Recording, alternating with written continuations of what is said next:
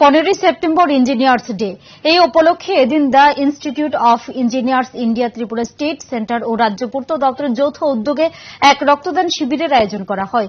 এদিন গোর্খা বস্তি স্থিত পণ্ডিত নেহরু কমপ্লেক্সে এই শিবির আয়োজন করা হয়। শিবিরে উপস্থিত ছিলেন আগরতলা পুর নিগমের মেয়র দীপক মজুমদার সহ দপ্তরের আধিকারিক সহ কর্মীরা শিবিরে মোট পঁয়ত্রিশ জন রক্তদাতা রক্তদান করে। ইঞ্জিনিয়ার ডে উপলক্ষে আজকে এক রক্তদান উৎসবের আয়োজন করা হয়েছে। প্রায় পঁয়ত্রিশ জন রক্তদাতা অংশগ্রহণ করবেন রক্তদান মতদান কমিটিতে এই রাজ্যে উৎসবের মেজাজে কিন্তু আমরা অংশগ্রহণ করি। প্রত্যেকে আজকাল কিন্তু সরকারি বেসরকারিভাবে ক্লাব, সংস্থা, বিভিন্ন প্রতিষ্ঠান, রাজনৈতিক সংগঠন এবং বিভিন্ন সংগঠনকে যার প্রতিষ্ঠা দিবস উপলক্ষে কিন্তু আজকাল রক্তদান উৎসবের মাধ্যমে। যেটা আজকে পঞ্চমতম ইউনিয়ন ডেটে তারা কিন্তু রক্তদান উৎসব করছে। আমি তাদেরকে ধন্যবাদ জানাই যারা অংশগ্রহণ করবে তাদের প্রতি আমার কৃতজ্ঞতা এবং শুভেচ্ছা রইল।